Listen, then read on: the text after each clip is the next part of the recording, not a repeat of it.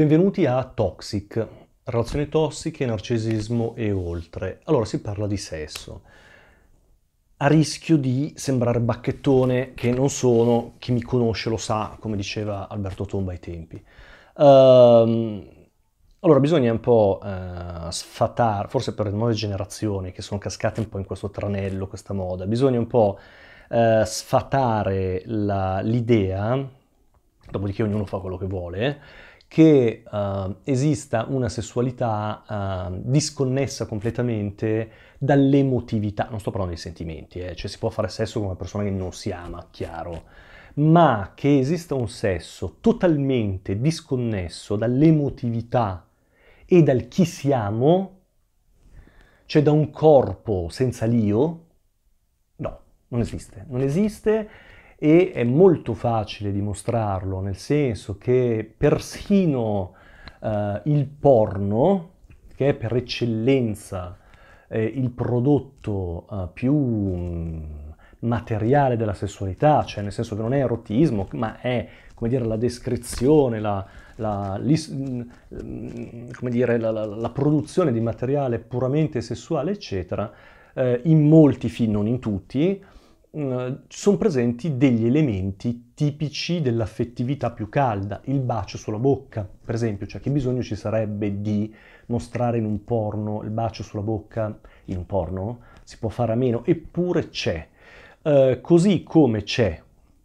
il bacio, uh, che è di fatto, a mio avviso, e non solo mio, sostanzialmente il fulcro di questa piramide rovesciata che è il sesso, per cui è un'enormità di cose basate, che si regge quasi sostanzialmente su questo fulcro, infatti se non ci piace baciare una persona il rapporto difficilmente avrà lungo termine se non proprio eh, inizierà o comunque non sarà di sicuro il rapporto, la relazione che ricorderemo con più entusiasmo in ambito sessuale. Um, il bacio è presente anche in quelle avventure che in realtà non avrebbero, non hanno bisogno di nessun amore, no? Eppure c'è l'affetto, eppure c'è la carezza, eppure ci sono in realtà una massa, nel senso occasionale, una massa di atti che fanno capo all'affettività enorme. Uh, d'altro canto, uh, chi fa sesso non è un robot, cioè non è un corpo privo di, me- privo di pensieri, è una persona che arriva lì, in quel letto, in quella, so, discoteca, in quel posto, con la sua storia. E quindi è una storia che si unisce intimamente, poi questa intimità può essere letta in una maniera prof- più o meno profonda, perché può essere anche un'intimità occasionale, superficiale, però è una storia che si incontra con un'altra storia. E sono cose che rimangono, cioè ehm, non, non, non, funziona un, non funziona generalmente secondo un paradigma per cui avviene una cosa e si oblitera, si cancella, si annulla ciò che è avvenuto e si passa oltre. Le cose si sedimentano in maniera più o meno conscia, in maniera più, in maniera più o meno consapevole, in maniera più o meno importante. Ci sono poi persone che, le, ci sono poi persone che hanno proprio una sessualità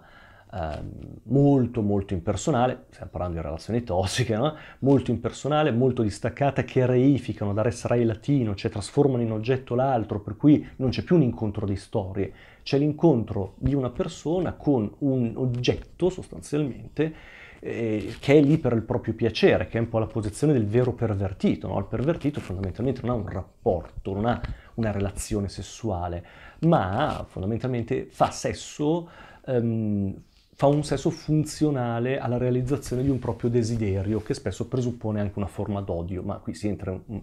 una discussione abbastanza complessa che vi evito. Però ecco, è importante ricordarsi questo, cioè è importante se non altro ricordarlo,